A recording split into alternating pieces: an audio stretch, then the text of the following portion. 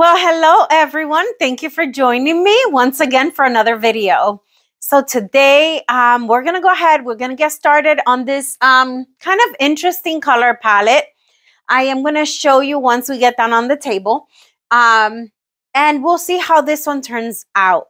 Uh, thank you so much for everyone that has joined my channel, that has subscribed. I appreciate you so much. I am going to go ahead and kind of touch back up on the basics um, just to welcome everybody on board and get you up into speed here of what we do. So without further ado, meet me down at the canvas. Okay, everyone, thank you so much. We're here down at the table. So I am covering first basics. So I am working on a 16 by 20 inch canvas. My canvas has been prepped on the back. So I have taped my border behind so that when the paint drips over, at least I keep the border here of the wood under the canvas um, clean. And as much as possible, I keep the back of my canvas clean. If you get it dirty, not a problem. It shows that a human has worked on it. So that's perfectly fine. It's all a matter of preference, not what's right or wrong.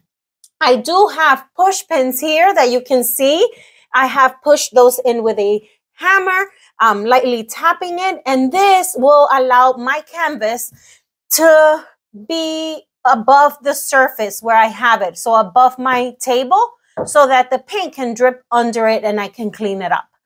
So um, then what I have is a leveler.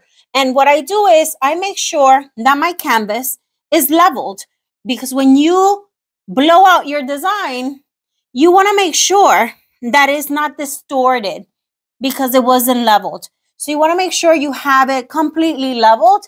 This one is completely leveled, so we can go ahead and proceed to working with it. Now I am just um, kind of cleaning, just make sure that I don't have dust particles sitting on top of my canvas.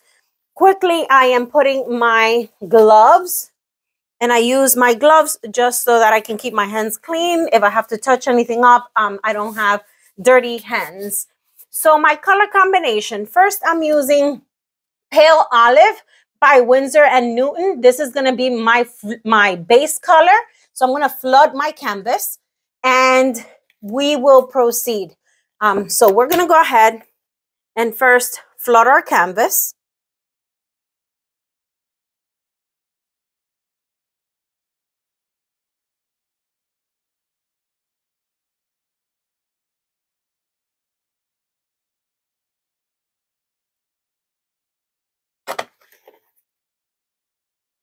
Now we're going to go ahead and torch our air bubbles.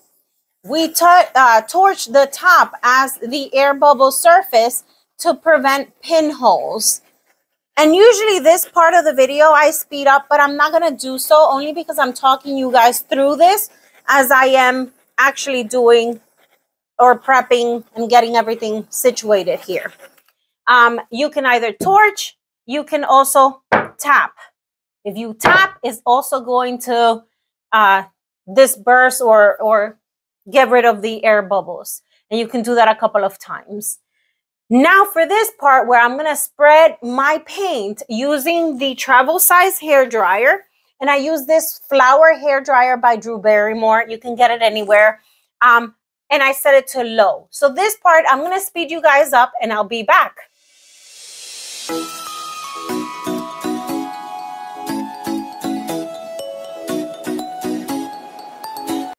I'm going to quickly make sure that I have all my edges covered. And I'm just tapping my fingers along the side of the canvas just to make sure that I am covering all the edges here.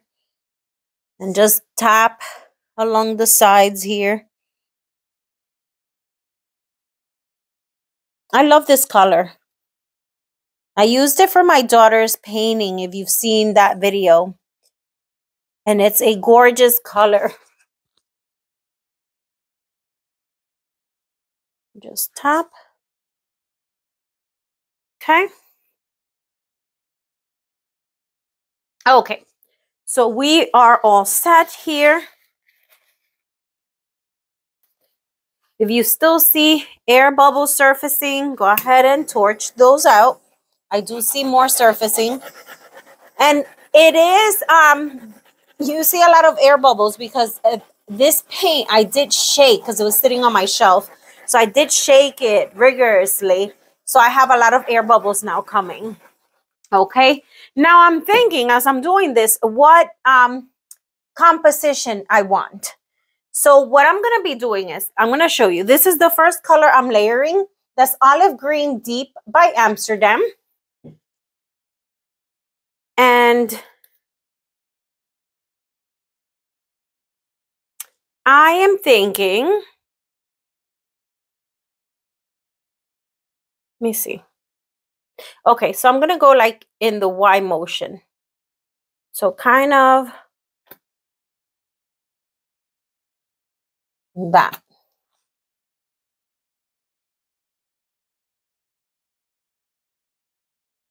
Yes.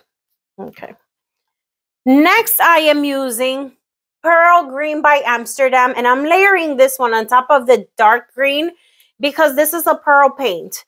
And the pearl paints usually tend to show up when they're sitting above a darker color. That's when it works best. So here is the pearl green. Okay. I love the colors already. Next, I have Prussian Rose by Amsterdam. Love that pink. It's so soft. It's baby pink. So we're doing this. Interesting color combination. Tell me what do you guys think? What are your bets? How is this going to turn out? And I am adding on top of that Pearl Pink by Arteza. I am adding the Pearl Pink because I want shine. I want shimmer in this painting. This is going to help me with that.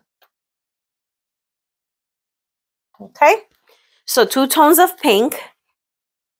Next color is Pearl Pistachio Green by Arteza. So we'll see how this turns out. And I love this color. I love this pistachio green. Absolutely. Okay. My next color is grayish blue by Amsterdam. And you're probably thinking already, what a disaster this is going to be. But I saw the color palette. It is interesting and I like it. Let's see how it turns out. So nothing is going to deter us from this color palette today. We are going for it, no matter what. I am adding a little bit of the 24 karat gold by DecoArt. And as you know, this takes over. So I do want, but I want a smidge of it. Just like that. Perfect. I did good this time. And last, I am doing Pearl Tangerine Orange on the top. Look at that color palette and tell me if you don't think that's pretty, pretty, pretty because I love it. Maybe it's not for you, but we'll see how it turns out. So let's get these out of the way here. We're going to once again torch this out because we do have more air bubbles surfacing. Keep that in mind.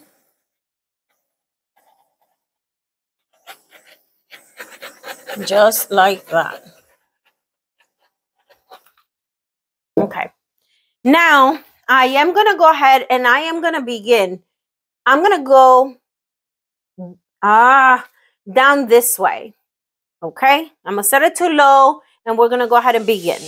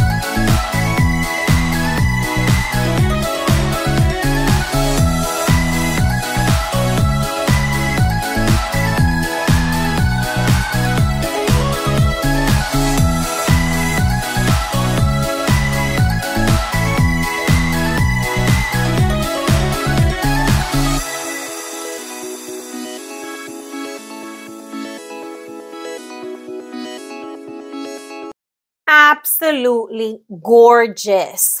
This is Gorgina. I am happy, super happy. Very pretty, very subtle. Love it. I love the pop of the DecoArt as is showing up. Beautiful. Absolutely happy. Now, I have taught you in the past that I kind of kind of embellish as is wet and sitting here on my table. I just put some of the paint down that I want to add to certain sections. And I just want to add it to this section right here. So all I do is I take a little stick, paint the tip of it, as you can see, and I'll draw the lines to complete them. So just a way for you to kind of add color in certain sections.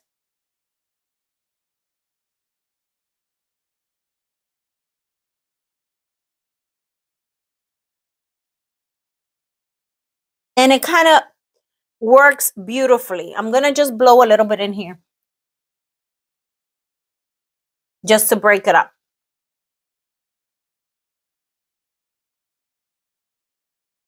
Just like that. See? And as it develops here, you should see how gorgeous this is. It's such a soft color palette. So we're going to go ahead. I am going to clean my edges and what I do when I clean my edges is I just go along the bottom and I kind of take the paint that is sitting on the bottom and I take it off with the same stick. Um, so kind of this. Um, see? So just removing the excess paint from the bottom. And this will um, allow for your painting or, or your abstract design to stay on the top is not being pulled off on the sides.